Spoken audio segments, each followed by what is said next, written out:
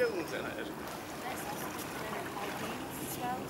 Tell you what, yeah, that'll be gone.